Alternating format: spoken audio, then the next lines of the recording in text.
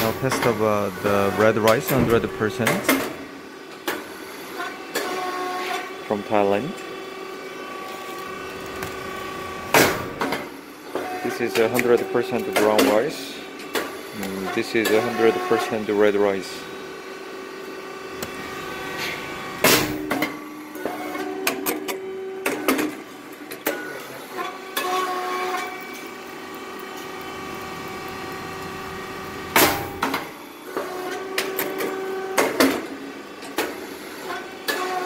Thank you.